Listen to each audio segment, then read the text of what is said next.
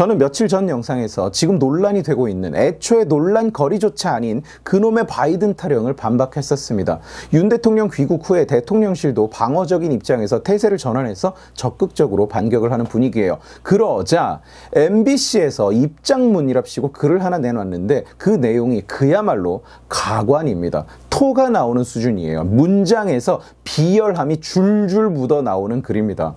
글 내용이 뭐냐? 첫째, 그 영상은 원래 급속도로 퍼지고 있었기 때문에 우리 책임이 아니다. 그러나 MBC의 제3노조는 이 자막을 MBC의 뉴스룸 국장이 직접 제작했다고 주장하는 중이에요. 다른 언론사보다 먼저 편집자랑 둘이서 짝짝꿍을 해서 검증 없이 음향을 조사해 보지도 않고 그냥 자막을 쑤셔 박아서 뿌렸다는 주장입니다. 어쨌든 MBC는 우리 말고 다른 데서도 다뤘으니까 우리 책임이 아니다. 이렇게 항변을 하는 중이에요. 둘째, MBC는 그냥 내용을 그대로 전달했을 뿐 해석도 안 했고 가치 판단도 안 했다고 주장하고 있어요. 개소리죠. 자막을 깔지 않았다면 모를까. 지들이 자막을 깐 이상 지들이 판단을 한 거죠. 음향을 제대로 따져보지도 않고 그냥 뇌내 망상으로 바이든을 욕했다고 자막을 달아서 뿌리는 행위 자체가 해석이고 가치 판단이고 정치 노름이고 또 음해예요. 해석을 안 했다고 그게 무슨 자랑처럼 이야기를 하는데 귓구녕이 삐뚤어져서 말귀를 제대로 못 알아쳐먹겠으면 제가 보여드렸던 것처럼 말의 문맥만 따져봐도 내용이 훨씬 분명해집니다. 글로벌 재정공약회의 원래 미국이 주최하고 이번에도 미국에서 미국이 주최한 재정공약회의입니다. 미국은 의회도 여당이 다수예요. 하원은 바이든의 민주당이 과반을 넘었고 상원은 민주당계 무소속까지 정확하게 50대 50인데 동료 9일일 경우에는 부통령이 권한을 가지게 되기 때문에 사실상 바이든 정부의 결정에 특히 이런 일에 반대를 하고 통과를 안 시키는 일은 결코 일어나지 않습니다. 어느 미친 인간이 뜬금없이 3대 감염병을 퇴치하자는데 그것도 회의 주최국의 의원으로서 갑자기 반대표를 던진다는 말입니까? 공화당마저도 여기에 목숨을 걸고 반대할 이유가 전혀 없는 사안이에요. 결국 윤 대통령이 미 의회가 이 예산안을 통과 안 시켜줘서 바이든이 쪽팔릴까봐 걱정하는 일은 절대로 일어날 수 없는 일입니다. 절대로. 이 상황만 생각해 봐도 대체 그 자리에 바이든이 왜 들어간다는 말입니까? 그 너무나도 당연한 맥락을 한 번 해석하기만 했어도 뭐뭐뭐뭐 쪽팔려서라는 이 빈칼에 바이든이 들어간다는 생각은 할 수가 없는 겁니다. 그 어느 바보 멍청이라도 알 수 있는 거예요. 네 삐뚤어진 귀에 바이든이라고 들리든가 말든가 저 칸에는 바이든이 들어갈 수가 없다니까요. 말이 안 된다니까. 한국어 듣기 평가의 소질이 없으면 문장 맥락이라도 살펴서 추론을 해야 되는데 나는 해석 같은 거 안 한다. 그냥 내 귀에 들리는 대로 막 적는다. 이걸 지금 자랑이라고 떠들고 앉았으니 그것도 언론이라는 것들이 토가 쏠리지 않을 수가 있습니까? MBC 입장문의 셋째 포인트. 신속 정확하게 보도하는 것은 저널리즘의 기본 책무입니다. 이거 무슨 자아 비판하는 건가요? 그냥 신속하게 정권을 까고 싶으니까 정확은 포기했다. 정확한 정보인지는 신경 쓰지 않았다. 이런 상황 아닙니까? 해외 언론들 역시 자국 지도자의 부적절한 발언에 대해 여과 없이 보도하고 있습니다. 예, 맞는데요. 다른 나라 언론은 적어도 언론이라고 불리려면 없는 얘기를 거짓말로 막 만들어서 짓거리지 않고 그걸 감히 보도라고 부르지도 않죠. 제 말이 틀렸습니까? BBC가 MBC 마냥 영국 총리가 하지도 않은 얘기를 우리는 해석하지 않는다. 이따위 헛소리나 짓거리면서 거짓말로 퍼나르는 꼴 보셨습니까?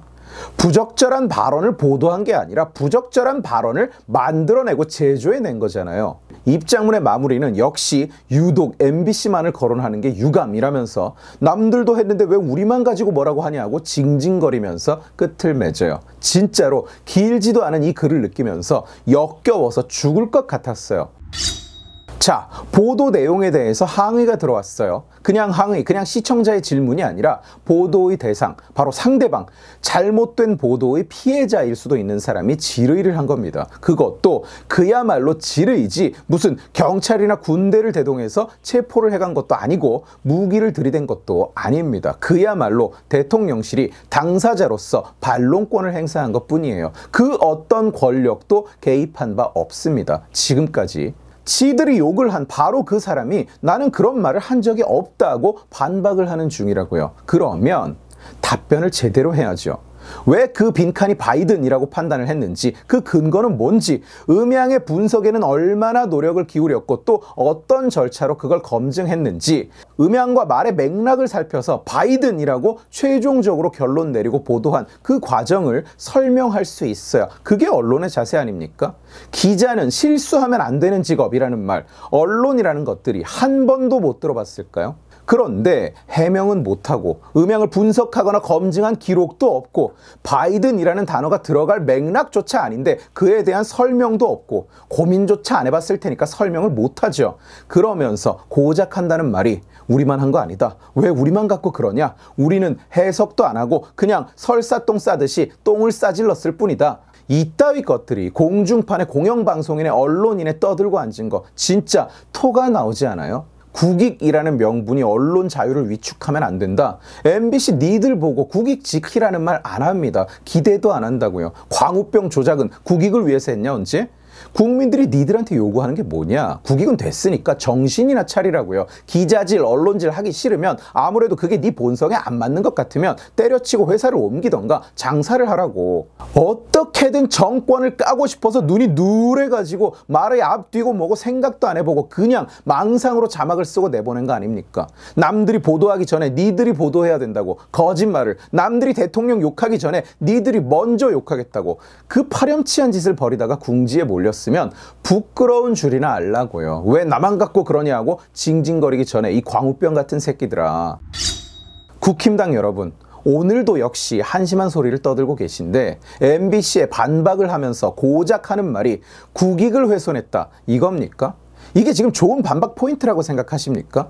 지금 상대방의 가장 큰 약점이 뭔가요? 국익 타령이 아니라 거짓말을 했다는 겁니다. 그게 포인트라고요. 아닌 걸 알면서도 거짓말을 했다. 이게 언론으로서 가장 큰 약점이자 가장 큰 죄악인 거예요. 국익을 훼손했다. 이렇게 주장하는 순간 마치 아, 그게 사실이기는 한데 국익을 위해서 그 말을 보도하면 안 되지. 바이든을 욕하기는 했는데 그걸 굳이 보도해야 되냐.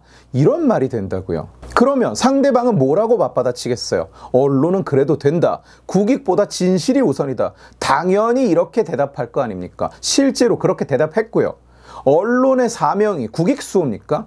아니에요. 그 누구도 언론의 국익을 수호할 의무를 지우지 않았다고요. 공격 포인트가 산더미 같은데 엉뚱한 데를 쑤셔서 빠져나갈 구멍만 만들어 준 거예요. 이 상황에서 저들의 가장 큰 약점은 거짓말이고 조작이라고요. 자막을 조작했다는 거. 거짓말이라고 정의를 하는 순간 언론은 무슨 변명으로도 빠져나갈 수가 없어요. 네가 언론이냐 거짓말이나 만들어내는 네가 이 말에는 언론은 절대로 반박을 할 수가 없습니다. 그런데 웬 국익 타령을 하고 앉았습니까? MBC가 대통령실인가요? 국익을 거기 가서 찾게? 대학 때 논리 수업도 안 들었습니까? 국힘당 여러분들은? 여러분들은 모든 싸움을 이따위로 합니까, 원래? 나도 알아요. 여러분 다 엘리트 출신이고 세상에서 제일 똑똑한 사람들이라는 거. 그런데 싸움에는 어쩌면 이렇게 잼병인지 이해가 안 간다고요. 상황의 본질을 좀 봅시다. 상대방의 본질을 좀 파악합시다. 겉핥기 좀 하지 맙시다. 메시지를 뽑는 능력이야말로 정치에서 가장 중요한 능력 중 하나인데 국힘당은 그게 너무 부족해요. 제 말에 반박할 수 있습니까? 당신들? 국익이 좋은 공격 포인트였다. 당당하게 이렇게 얘기할 수 있습니까? 지지자를 부끄럽게 만들지 마세요. 제발 국힘당 여러분. 오늘 지식의 칼은 여기까지입니다. 재미있게 보셨으면 지식의 칼 채널을 구독해 주시고 이 영상을 주변에 공유해 주세요. 여러분들이 공유해 주시면 설득은 제가 하겠습니다. 고맙습니다.